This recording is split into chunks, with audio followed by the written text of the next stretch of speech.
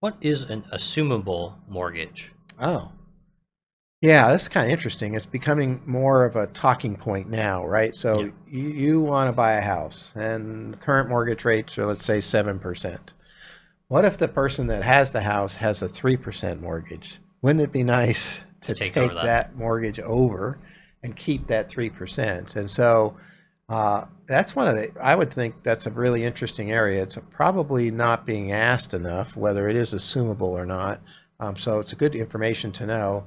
You know, if you're going to buy that house and they have that mortgage, you know, trying to find out from the seller whether that's an assumable mortgage that you might be able to qualify for. You still have to qualify for it.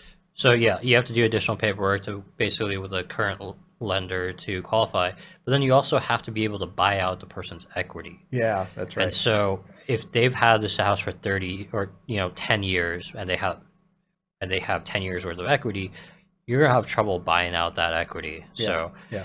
you have to have the cash on the side to actually do that or figure out a way to generate the cash.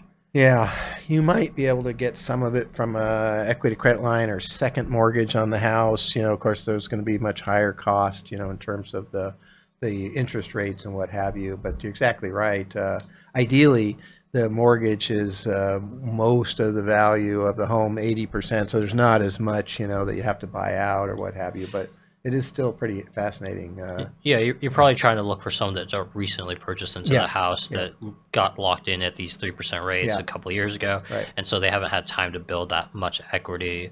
And because housing prices for the last couple of years have kind of slowed down in their growth, so you're still able to afford their equity. Yeah, yeah. I, I, I it'd be, it's an interesting piece. I, I think that you know not everybody is aware that that's even possible. So Yeah, it, it's something to ask when you're buying from an existing uh, owner. You know, you know, is the mortgage assumable, and if so, you know, you could try and do your due diligence on that. yeah, yeah.